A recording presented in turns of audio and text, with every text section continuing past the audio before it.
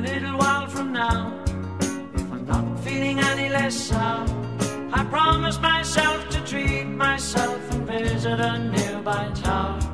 And climbing to the top, will throw myself off in an effort to make clear to whoever what it's like when you're shattered, left standing in the lurch at a church where people are saying, My God, stood him up. No point in us remaining. We may as well go home, as I did on my own, alone again. Naturally, to think that only yesterday I was cheerful, bright, and gay, looking forward to wouldn't do the role I was about to play. But as if to knock me down, reality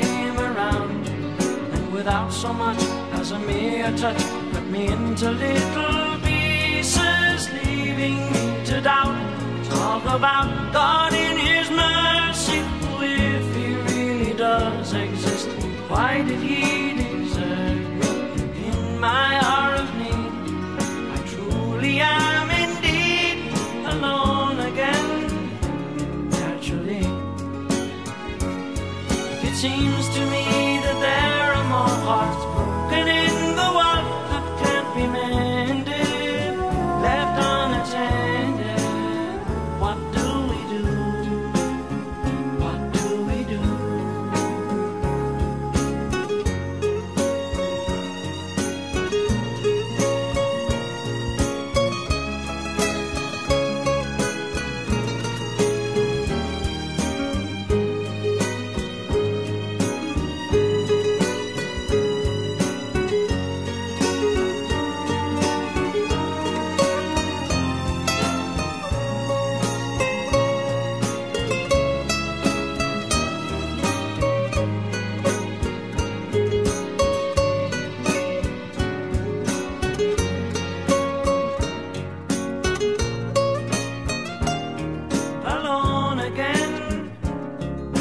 And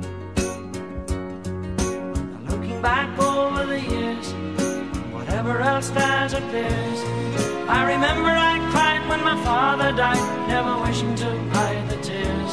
And at 65 years old, my mother, God rest her soul, couldn't understand why the only man she had ever loved had been taken, leaving her to start with a heart so